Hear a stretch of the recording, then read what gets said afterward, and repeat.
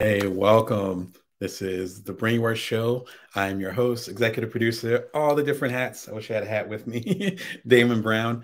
I'm a business coach. I'm an uh, author many times over, and my goal is to help you uh, with your side hustlers, hustles, with your solopreneurship, um, with you creating something out of nothing. And it's something that uh, a lot of folks that I've worked with, I've worked with hundreds of people over the years, probably approaching thousands, and trying to help you elevate your game um, if you know, if you don't know my background, my uh, background is journalism, and then I became an entrepreneur at the exact same time that my wife and I had our first kid. I'm the primary caregiver, and so at the time that my our first son was uh, about three or four months old, I decided to go full throttle into entrepreneurship. And then doing two startups. The second one called Cuddlr, and I'm getting really popular. We had about a quarter million users, and we ended up selling it uh, about a year later around the time of my son's second birthday. And since then, I've been dedicated to helping other folks that look like me, that uh, don't look like me, that um, don't pattern match, as we say in Silicon Valley, into what the successful entrepreneur is. So helping you get to the next level. Um, you could have little kids at home. You could be part of marginalized communities. Um, you could be part of the LGBTQ community. Um, you could be uh, have less resources because of who you are and how you show up, or more importantly, who you're trying to serve. My goal is to give you the toolboxes, open up my toolbox, and give you all the insight that I can. So I come to you every Monday, Wednesday, and Friday at uh, 1 11 p.m. Pacific Standard Time, Vegas time, because I'm over here in Las Vegas. This is about 300, 320th episode. We are going in. Uh, the community's gotten really big since the beginning of this year. And um, yeah, I'm just happy to, to be connecting with y'all and that some of this stuff is resonating. If you're interested in getting these vibes three times a week, as well as the shorts that I do, which I do almost every day, be sure and subscribe. It's totally free. It will, as far as I can tell, always be free. Just click the link below at youtube.com slash brown damon slash that little thing there. If you don't want to subscribe, you just want to check out the show, just do youtube.com slash Brown Damon. You can check out all the episodes. I think there's a couple hundred shorts on there, which are like kind of like TikTok, where it's like less than 60 seconds, talking about some of the stuff I'm talking about here, including uh, passive income, including um, emotional balance, emotional intelligence, and some stuff we're talking about today, which delves into care and how you can lead while still being yourself. Really important. Um, my latest book is Career Remix Get the Gig You Want with the skills you've got. If you're on Amazon, shout out to you, y'all at Amazon Live. You just go and click the link on that side. They're always moving the links. It's somewhere around my my talking head. If if you're on the YouTube channel, if you're listening or what have you, just go into the show notes. Usually right below my head, and all the links that you uh, will hear about today, you will uh, you will figure out. Um, there's a, and so today, sorry, having a technical issue there. Give me one second. There we go. All right. And this kind of gets into the most important stuff. Today is a Q&A. So every Wednesday I have a Q&A.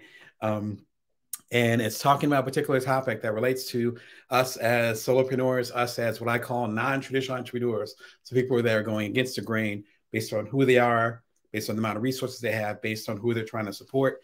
Today, we're talking about to, how to lead as an introvert. Um, I talk a lot. Speaking is part of my profession. I've done four TED Talks, and I think I'm approaching like 100 speaking engagements. And actually, I'm an introvert. Like, I, I enjoy the quiet of my own company, as my family uh, can attest to, those that raised me, as well as the family that I created with my two little kids now and my wife. Introverts are interesting. And I don't say that just because I'm an introvert, but because we have such a different take um, in the world. Uh, based on statistics that I, I was able to look up earlier this week, one out of three of us is an introvert. So if it was three of us in the room, me and two of y'all, I would be the introvert more than likely, right? So that's a pretty high, pretty high um, ratio, if you want to call it that, a pretty high, pretty high statistic. The thing is, is that we tend to move around the world differently. Now, the key thing is that, at least when I was growing up, being an introvert, that term wasn't really defined the way it is defined now. And shout out to Susan Cain and other folks that I'm going to dig up their work in a moment. Folks who really started that discussion as far as the difference between being an extrovert and an introvert. And if you think about like the Mad Men days, which was the people on Madison Avenue, the um, the popular uh, AMC TV show that was that was hot about 15 years ago with Don Draper and all those guys it goes back into a little bit of an interesting history. And if you look to the history of, of being an introvert, and I think Susan Cain might talk about this a bit too, but other folks have have have done that, and I've done some of the research where people actually were fine being reserved and being quieter until about a century ago. So let's say the early 1900s, around the time of the the the real heft of the industrial revolution we're talking uh, assembly lines. We're talking uh, the Model T, right? We're talking about the Rockefellers and the, um, the Carnegies and all these different folks where things got really industrial. Let's say 1910, 1915. So again, just over 100 years ago. And suddenly these people who, meaning most of us, um, we were used to being in these rural areas then the suburbs started to come into play. And the suburbs, as you can imagine, if you break down the word, are just um, a separate part of the urban area, suburban, right? Suburban, a subset of the urban areas. Everyone was going to these urban areas. If you think of New York, you think of Chicago, you think of uh, Vegas to a lesser extent, but it wasn't until later because of the mafia presence. That's a whole different thing. There's people that are way more knowledgeable about than I am. But these major cities, Los Angeles, um, etc., especially on the East Coast and the Midwest, because those, those areas are a little bit more developed, that people started to go to these cities to make money. If you're in these urban areas, you have to be a lot more, frankly, aggressive. I'm originally from South Jersey, so I get some of that. So you have to be a little bit more aggressive. You have to be outspoken. You have to have a loud presence. You have to be an ex- extrovert or at least pretend to be an extrovert. That's energy that you end up seeing and again the popular show Mad Men, which is about the ad agencies that took place in the 50s. If you follow me, the challenge is that now we're at this place where people who are like myself, who actually do need alone time or who are quieter or what have you, they feel as though they need to act a certain way in these environments to lead, right? So if they feel as though they have to act a certain way to lead, at a certain point, the mask is going to start to fall off. As they say in psychology, right? Shout out to Jung. the mask starts to fall off. And then suddenly you're burnout. Then suddenly you feel like an imposter. You hear the discussion about imposter syndrome. Some of that comes from us feeling like we have to appear a certain way to succeed in the world. There's a certain amount of masking that happens in the world, right? You can't be 100% yourself all the time there's a certain rawness that I have with like my wife or my best friends or with my closest family members I wouldn't have with you because I don't know you, right? But that gap, though, because of again these this historical stuff, particularly here in the states over the past hundred years, that gap has gotten wider. Again, Susan Cain addresses that in her books. Um, other folks have addressed that. We're going to get into that.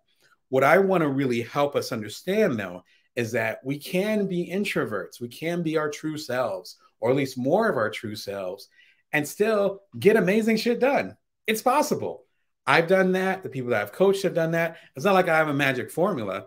It's just having the confidence and figuring out the tools to make that happen. So today the Q and A is completely open. I'm going to go ahead and there's always some already some questions queued up. I'm going to go pull those up. Throw in your questions. Um, you as um, if you want to be a public speaker, as I am, um, a professional one at least. Um, if you want to do your startups or you're already doing your startups, if you're trying to lead your family or lead a group, like there's this confusion there as far as like what it represents. And thank you. That's exactly what I'm getting at. Introversion does not mean shy. Along that whole path, there was this blend of introvert means shy. Personally, I'm not shy at all. like people that know me know I'm not shy. But I do need my alone time, and there's a difference. So one of the questions that came in, let me go ahead and pull that up. Um, Again, hopefully the technology will cooperate with me. So bear with me. Again, changing new technology. There it is. All right. So let's start with the, the basics here. Uh, oh, I'm hiding too much stuff. See, I, I told you. there it is. What is introvert? What is introverts? Let's start with the with the baseline. My definition that I've gotten over the years, and this has evolved. Um, shout out to Adam Grant, who's had some recent definitions about introversion and extroversion and so forth. There's it's evolving, but let's start with like a simple baseline since you know we have like a half an hour show. It is where you get the energy from. So my youngest is an extrovert, super extrovert. My wife is an extrovert. So for them, silence and just being by themselves, that feels draining to them. What's exciting is to go out into the world or have a conversation or play music, even though we're all into music, but you, you hear where I'm going. Like just to have that commotion, almost like a stimulation. They need that stimulation that's what gets them energy. It's almost like a battery pack, and that gets them the energy back, right? For my eldest, the uh, the one I was talking about earlier, that that um, that was there for the those big stages with I was doing my startups.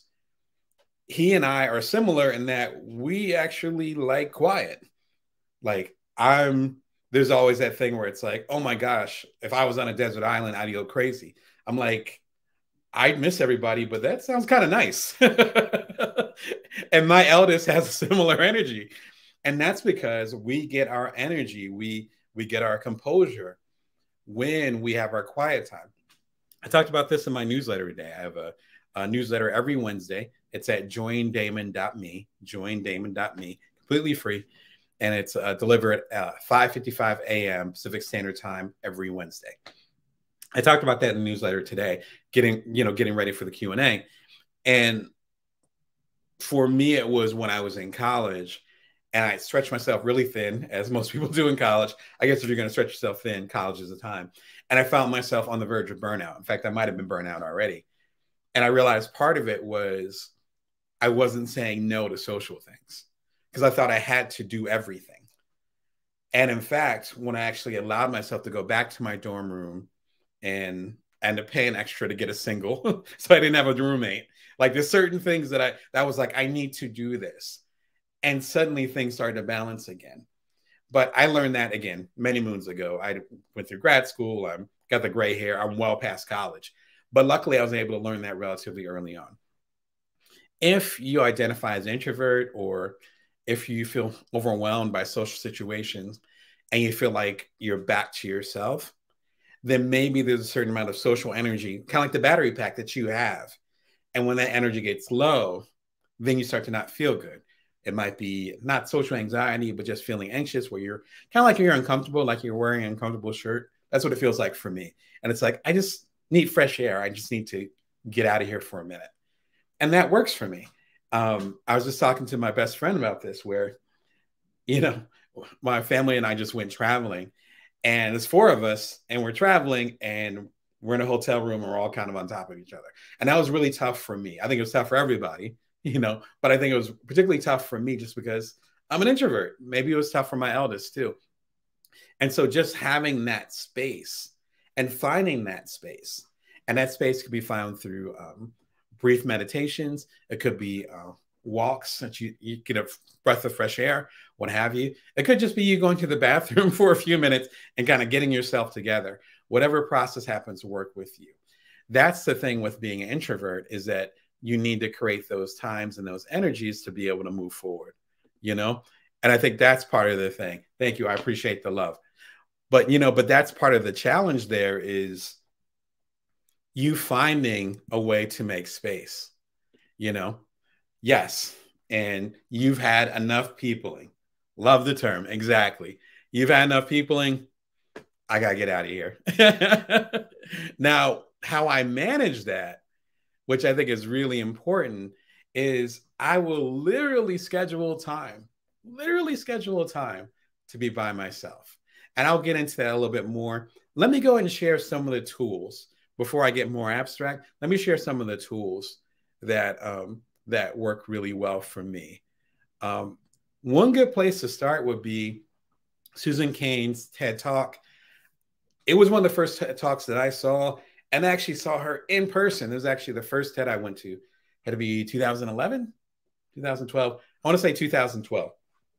Her first TED Talk. I was in the audience. I was blown away, and uh, her and I have connected after the fact, and I so appreciate her work. This is what started all. Susan Cain, The Power of Introverts. If you're looking to go deeper on this topic, please start with this really short TED Talk. I want to say 12 minutes, 13 minutes, around 10, just over 10 minutes long. It is absolutely worth your time. The stuff I'm talking about, a lot, she's like, you know, the the the mother of this as far as bringing this to the to the uh, to modern consciousness and changing the discussion as far as what exactly introvert is. And that's really a key part of it. As you go deeper, it's worth checking out her book, Quiet. Quiet by Susan Cain, fantastic book. She talks about her experiences and similar to what I talk about, because I think she's just a few years older than me. So similar, we're of a similar generation where we were quiet growing up, hence the term. We were quiet going up. And then at the same time, it's like people keep mistaking that as, you know, as being shy, you know, as again, like those are two separate things. Her book talks about that, talks about personal experiences with that. And she's creating a whole community, whole community around this concept. Fantastic. She has another book out called Bittersweet. I'm just getting into it now, but it's been highly recommended. It's actually an Oprah Books pick right now. So for the Oprah Book Club, I think that's what she's naming it now. So congrats, Susan. I'm proud of your work, and I'm I'm happy to uh, to be able to see it from the beginning, as far as you coming out a dozen years ago. Um, another book that actually might help you on your way is one called Fascinate by Sally Hogshead. I have a hardcover copy over here, but I think maybe one of my kids grabbed it or something. I was reorganizing my office, and you know, I'm glad my kids are curious about books, but they always go missing. Go figure. It's a, I guess that's a good thing. I'll appreciate that later. Fascinate, though, it's an interesting book because her main thing, if I remember her background correctly, she's actually from marketing, and she talks about how different brands. Follow me. If you're creative, you might bristle a little bit at the idea of a brand, but identity. Let's call it identity because she would call it brand. Let's call it identity. Every single company or product has has an identity. Like I have an identity. Like like literally, darn near everything that I have here, I made. So this T-shirt is the other side is the Build from Now T-shirt. That's actually available at damonbrown.net. This mug was made by my wife as well as by my um my cover designer, Beck Loss. Shout out to Beck. The three of us collaborated and made this mug for the book Bring Your Worth that came out three, four years ago, which is, of course, the name of this show. That's part of my brand where it's like, right. And I'm talking to you on my YouTube channel, my channel. That's part of my brand. That's part of my identity. So, me, how you receive me and how you connect with me and how I connect with y'all is ideally authentic because everything that I have is homemade and from me. So from the bottom to the top, like this is this is Damon. And for some folks, I'm not going to be for y'all. But for other folks, if I resonate with y'all, it's going to be deep just because you know that every single product, every single thing. I did Career Remix partnership with Barnes and Noble. All my other books are from my own publishing imprint. Like, think about that everyone has some type of identity, not just who you are when you wake up in the world or wake up, wake up in the world, wake up in the morning, appear in the world, but also how you connect with other people and what you want to share with other people. I want to share that you can do it on your own. You can absolutely get support, but you do not need to go to a traditional publisher. You don't need to get VC money. You don't need to necessarily do all those things. I'm good friends with VCs and I'm super cool with the editors and publishers in New York. Nothing wrong with them, but you don't necessarily have to take that route.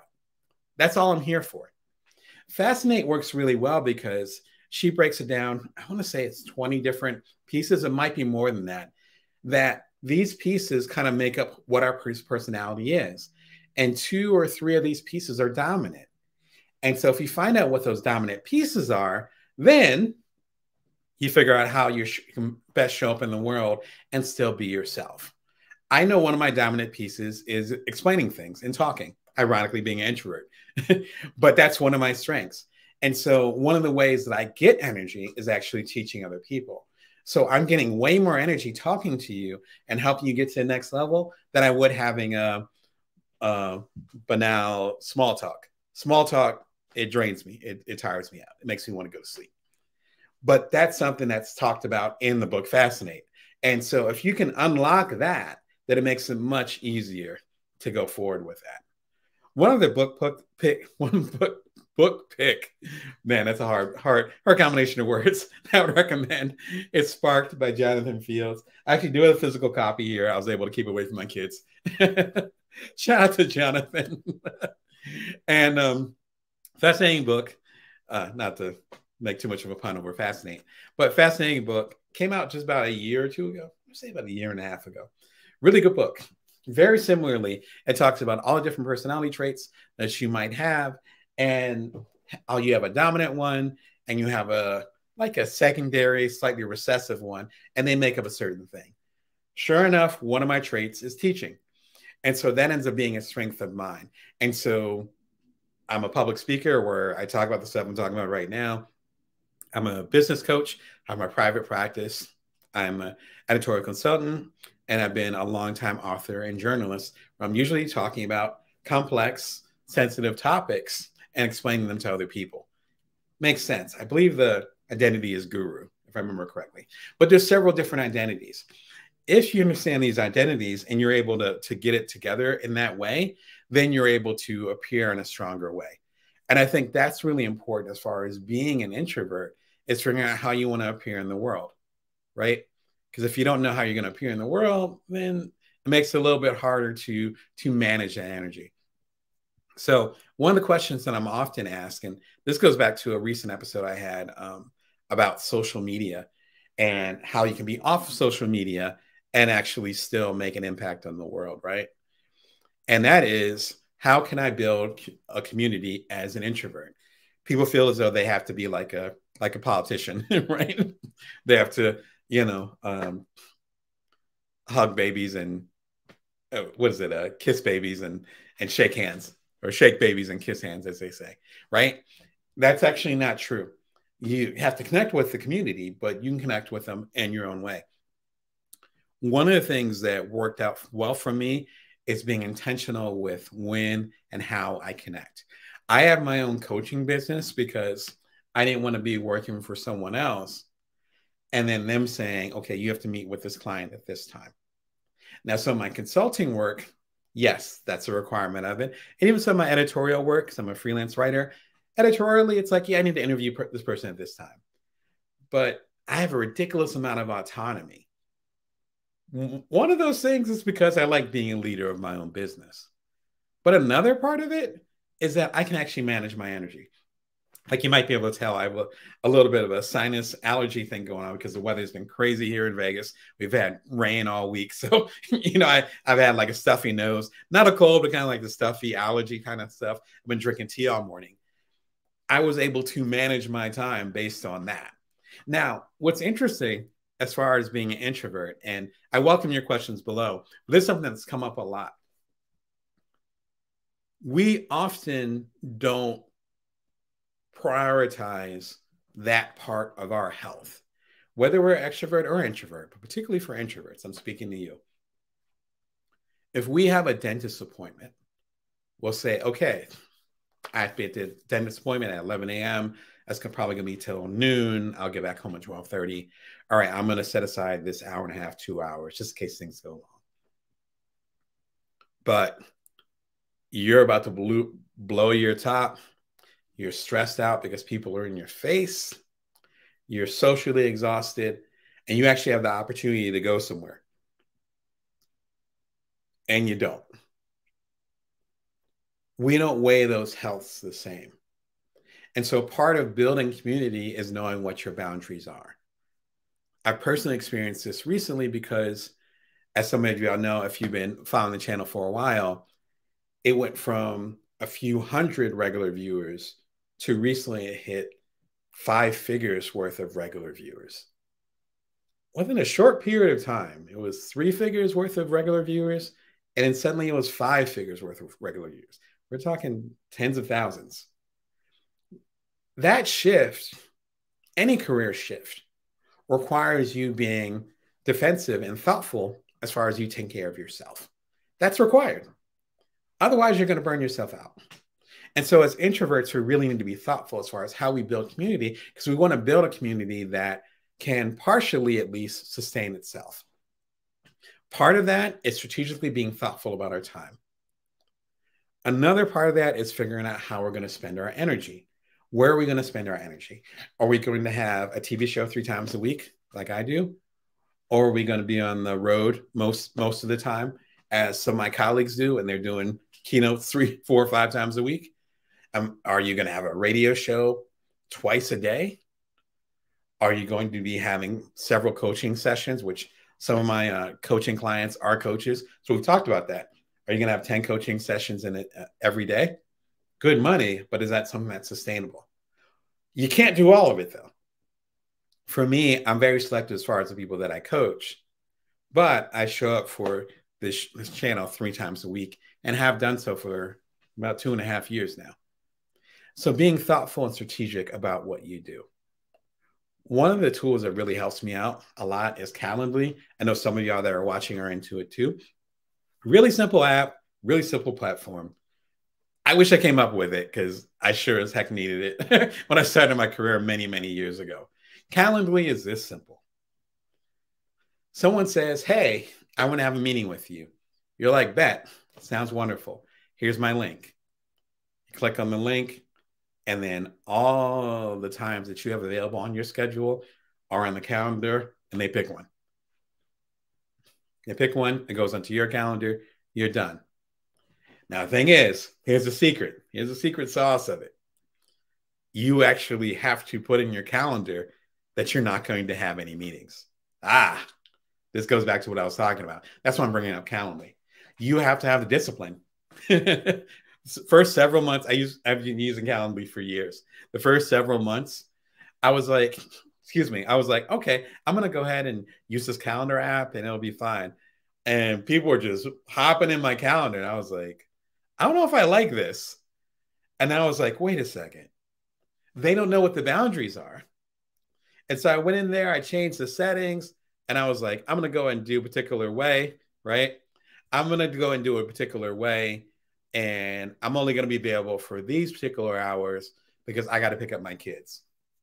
But before I pick up my kids, I need to go ahead and get dinner ready. So let me buffer an hour in there. Like little details like that it forced me to work on that. And it forced me to literally have introvert time. Again, I was just traveling with my family. So I had a day or a period of time when we got back where I was just like, I just put in my calendar busy. I could be busy taking a nap. I could be busy catching up with my family and then unpacking everything. I could be busy just drinking my coffee. As simple as that true introvert time. Do you know what I mean? This forces you to really look at your schedule because if you're in a in a season or a period of time where you're really popular or a lot of people want your time and you know setting setting up the Calendly link and then you don't put boundaries on it, it's going to be a mess. It's going to be a problem. So it forces you. It makes the unconscious conscious. Again, shout out to Jung again. It makes the unconscious conscious, and you're like, oh wow, I have no time for myself because my schedule is way open. Maybe I need some boundaries. Food for thought, right? Another app I would highly recommend. I've recommended over the last few weeks, but it's been really pertinent to what we've been talking about in the live shows. In live shows every Wednesday at 1 11 p.m. Um, is Meet Edgar. Um, as I talked about, Meet Edgar is a um, female founder Laura, shout out to her. She's done fantastic work over the last few years. The basic app is, again, super simple, extremely powerful. If you're going to get on social, uh, TikTok, Twitter, Instagram, you know, you know the vibes. You can put all your social posts in here. And then you could schedule them for certain times, which, you know, Buffer, Hootsuite, all those will do that for you. Fine, whatever. Here's the magic though. I've been really into Meet Edgar for several years because they will actually randomize and post your stuff at certain times forever. So I have a column with Inc. Magazine. You can go to inc.com and look up my name. I have the YouTube channel, Just Cross. I think it's the there's a 320th episode. I could plug all the different content in there. Going back, this show started in 2020. So I can take my first, second, third, fourth episodes, all the way up to my 320th right now, put them into Meet Edgar, and then it can just go. But you know what that means? Right? You know what that means? That means that I can just go ahead and be on my merry way, not have to worry about being connected and being social all the time. I can actually have my introvert time, have my quiet time, and that stuff is still churning. From a business standpoint, this makes perfect, perfect sense too, because I have columns. Um, I started my Inc. column in 2017, I think, so a while ago. Sometimes Meet Edgar will share something from 2017, 2018. I'm not exaggerating. And so suddenly someone will get that insight from what I was talking about five years ago. They might it might show uh, one of my earliest episodes from again uh, late 2020, and they're like, "Wow, this episode really resonated with me," because the people that you connect with, back to community, the people that you connect with now are going to be different than the people you connect with five years from now, or the people you connected with five five years ago. In other words, like I was talking about, the amount of people that are watching this show now is exponentially higher than it was when the show, obviously, when the show first started in 2020. And so, me sharing some of the content with y'all makes perfect sense because y'all weren't there back in 2020 in some cases. And so, I think it's so important to have that that insight and that discussion and not have to manually handle it all the time. As I told to, as I uh, expressed to a colleague of mine, building community, I found isn't necessarily about micromanaging the garden. It's about planting the seeds and then letting them grow on their own. And so hopefully this show is part of that. Hopefully the discussions on the and the Inc. column over the past few years are part of that. Hopefully the newsletter with the feedback I've been getting at joindamon.me is part of that. So I think there's ways that you can build community without frankly burning yourself out. Uh, the last comment that I got, and feel free to put your Q and A's down there too. Uh, the last comment I got um, is the advantage of being an introvert, and I think being so-called outgoing and so and so forth. We obviously know the advantages of that because they're talked about so much, particularly here in in Western culture. Being an introvert, though, there's actually a lot of advantages to that too. Number one, we tend to be a little bit more strategic because we only have so much social energy. So we need to be very thoughtful about what our next move is going to be. Another thing that has come up quite a bit, and this has been based on research as well, not just me, not just me making up stuff, is that we also tend to be better listeners because oftentimes we're talking less. Again, because of the social energy. And so the responses that we have tend to be a little bit more thoughtful um, and a little bit more uh, like thought out. Like uh, again, this the strategy, the the nuance. It, they tend to be more nuanced. The third thing, and I found this personally, is that we can, ironically enough, be very powerful public speakers because it takes a lot more energy for us to get on stage, a lot more energy for us to speak. So when we say something, we sure as hell mean it. And there's a certain amount of gravitas and power with that. We're we're never going to be talking just to be talking. It's like, no, we're talking for a certain intention. As an introvert, the best thing you can do is figure out what that main intention is. What's your main purpose? Why are you speaking? If that intention is pure, then that energy will be strong. I don't even mean that from a universe or a spiritual standpoint. I mean, just literally, if you have the strongest intention as far as helping other people, or if what you have to say is going to help elevate the other people in the room other person you're talking to, there's going to be a certain amount of power and strength that you're going to have that other people, introvert or extrovert or whatever, will never have. That's one of the reasons why I love public speaking. That's why I love, actually, I help coach public speakers, is because when you have that little spark and that turns into a flame, there's so much power in that. It's not the matter of being the, the best public speaker, being the best leader, being the best entrepreneur. It's about having that purity of intention. And when you have that purity of intention, then stuff tends to get out of the way. And whatever power or intent you have tends to come through clear. Again, whether you're extrovert, introvert, blue, green, whatever, there's a certain power in that. So all goes back to the intention. And as introverts, we're more likely to be have clarity of that intention because it takes us so much energy to speak up.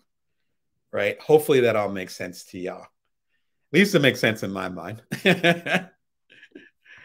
For after the show, after this, uh, a great uh, follow up dessert. I forget the term. I want to say aperitif, but that's not the word. I don't. I don't want to offend the the the food folks out there, the gastronomers. I can't even say the word.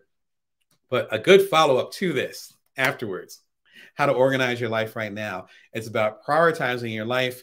It's pretty short. It's about six, seven minutes. One of the traditional episodes. In fact, this episode um probably about two years old. So it's one of the earlier episodes of the show. But it's been very popular, and I've shared it quite a bit with my coaching clients because part of being an introvert, at least a healthy introvert, let's make it clear, part of it is understanding what your priority is. Like I like I alluded at earlier, I'm doing this show, but then I'm also not on the radio 20 times a day. And I'm also not doing in-person meetings. And I'm also not growing this massive coaching practice. And I'm also not on the road doing keynotes because all those things require social energy. And I know only have so much. This will help you clarify and figure out what exactly your main intention is. Again, my name is Damon Brown. You're watching the Bring Your Show. It's every Monday, Wednesday, and Friday, 11 p.m. 1, 11 p.m., not 11 p.m. No, I'm asleep. 1, 11 p.m. Pacific Standard Time, Vegas time. Every Wednesday, it's a live show. You subscribe for free at the Bring Your Show at youtube.com slash Brown Damon. And that little question mark and all that stuff. If you just want to watch the show, see if you're into it before you subscribe, go ahead and just do youtube.com slash brown damon or click the links below it's free as far as i can tell. It'll always be free. I like to keep it free as, as long as possible so we'll run with that. And my newest book is career remix get the gig you want based on the skills you've got. Yeah thanks for coming through. Until next time remember you can always bring your worth that you always build from now. Take care